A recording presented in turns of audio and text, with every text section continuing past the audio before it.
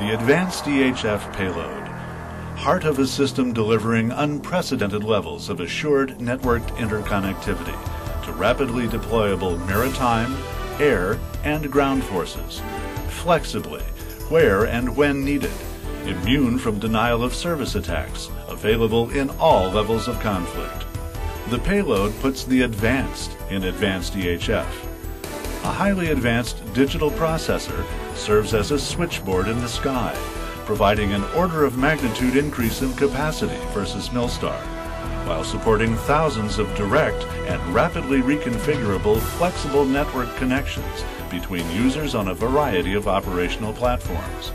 The processor implements advanced security and anti-jam waveform features to maintain both confidentiality and undeniable availability of U.S., international partner, and coalition networks operating at multiple security levels and within separate security domains. As with Milstar, the advanced EHF payload supports user logon and communications at lower data rates, worldwide, anytime, without prior coordination, and in the most hostile environments imaginable. And like Milstar, the payload features highly sensitive receive equipment, capable of accurately processing lower power spread spectrum signals in the EHF band, enabling low probability of detection, stealthy communications in support of special operations. The payload's fast-hopping uplink and downlink phased array antennas can flexibly cover a much wider area of the globe simultaneously with high-capacity service. While both Milstar 2 and Advanced EHF provide six one-degree spot beams which can be steered to anywhere in the satellite field of view via gimbal drive antennas, the advanced EHF phased arrays support an additional 6 1 degree shareable spot beams, instantaneously steerable to any location within the satellite field of view. Operational planners have the option of allocating the capacity associated with each shareable beam among up to four separate regions within the satellite field of view, done on a hop by hop basis in milliseconds, transparent to individual users.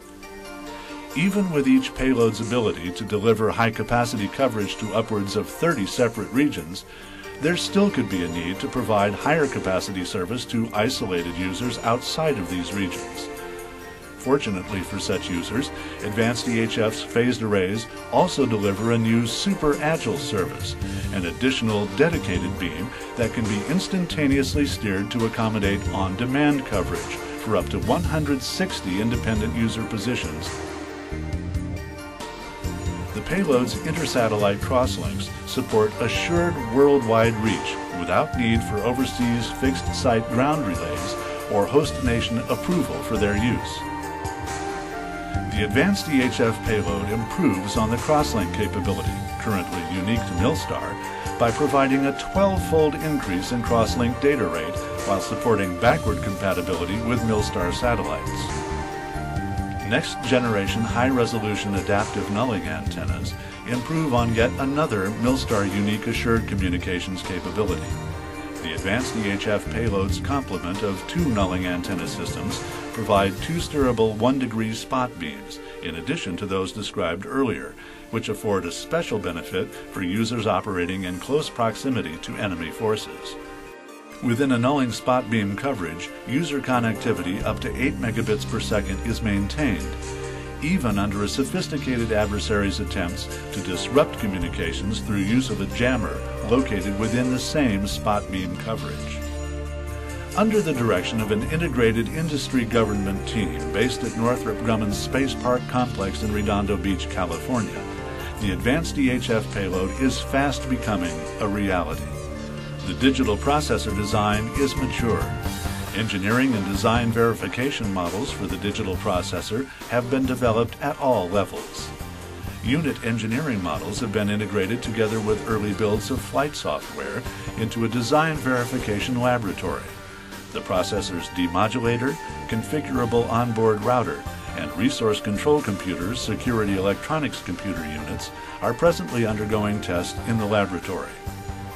A dedicated software development facility is in use by a team accredited at CMMI Level 5, which is actively developing the estimated 450,000 lines of flight software code that will reside in the processor. Phased array antenna performance has been demonstrated. Engineering models from the chip level to the major unit level have been developed for the uplink EHF array unit, for the downlink SHF array unit, and for the phased array controller and high efficiency converter units. The integrated engineering models are currently under test in the new phased array assembly and test facility at Space Park. The facility includes phased array production assembly bays, a near field range, a compact range, and a specially developed test set to ensure phased array unit compliance with specifications. The crosslink subsystem units are in test. Engineering models for all principal crosslink units have been developed. The crosslink antenna reflector engineering model is currently undergoing testing. Space Park's mechanical fabrication facility has recently been modernized and is fully equipped to provide flight crosslink, nulling, gimbal drive, and earth coverage antennas, as well as phased array feed horns for the advanced EHF. Individual crosslink subsystem units have been configured into an end-to-end crosslink test bed, where the ability of the subsystem to make the connection between the payload's processor and the incoming and outgoing 60 GHz crosslink transmissions using both legacy Milstar and advanced EHF protocols is being verified. An improved nulling antenna is in hand. Engineering models for all principal units have been developed and integrated into a nulling antenna subsystem design verification model. Performance is being verified in the same antenna test facility used for Milstar. Payload component production facilities are in place.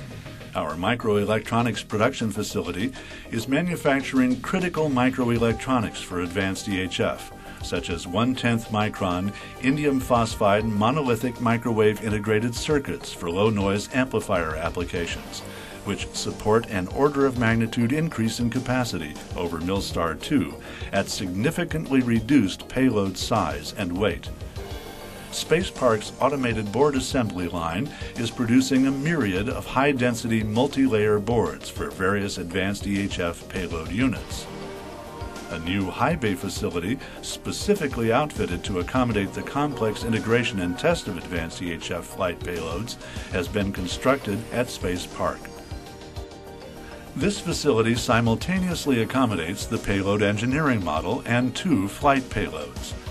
The payload engineering model is currently being assembled on an advanced EHF LM2100 spacecraft U-frame and wing structures in the facility. A complex test set integrating MIT Lincoln Laboratory's OST T terminal emulator, Lockheed Martin's Payload Support Equipment spacecraft emulator, and other equipment is in place to support testing for compliance with a mature payload specification in accordance with a detailed design verification plan.